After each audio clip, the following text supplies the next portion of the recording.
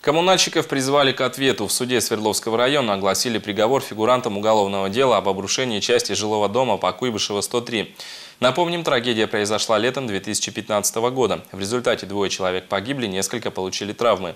Экс-руководителя управляющей компании «Моторостроитель» и бывшего исполнительного директора признали виновными в оказании услуг, не отвечающих требованиям безопасности, а мастера подрядной организации в причинении смерти по неосторожности.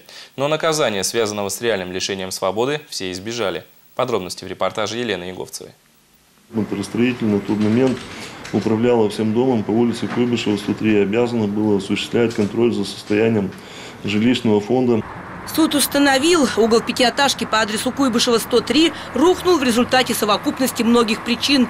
Среди них и выполненная с грубыми нарушениями реконструкция подвала и офисов, и постоянная вибрация от транспорта, и нарушенная при строительстве здания технология кладки. Но если бы работники управляющей компании вовремя приняли меры, трагедии можно было бы избежать. Мы считаем, что их вина полностью доказана материалами дела. Э, показаниями свидетелей, показаниями потерпевших, что действительно э, предотвратить возможность обрушения дома она имелась на тот момент, но этого не было своевременно сделано. Все осужденные получили условные сроки.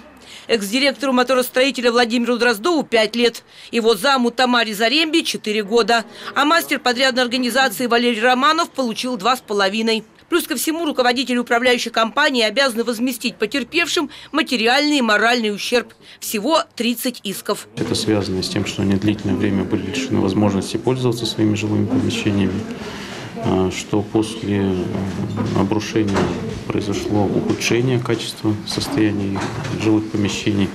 Ну и в том числе э, представили ряд документов, которые свидетельствуют о том, что а, и здоровье их тоже, в общем-то, было затронуто. То есть различные переживания, стресс.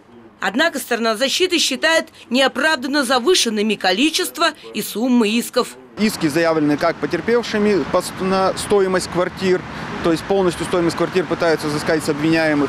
Э, администрация вышла с исками к обвиняемым за восстановленные квартиры также пытается взыскать. Получается двойное взыскание, больше 50 миллионов исков. Это я не говорю о исках моральных. Это идет э, иски только материальные, то есть имущество, квартиры плюс восстановление дома. Обжаловать приговор стороны могут в течение 10 дней. Елена Иговцева, Александр Худяков, телевизионная служба новостей.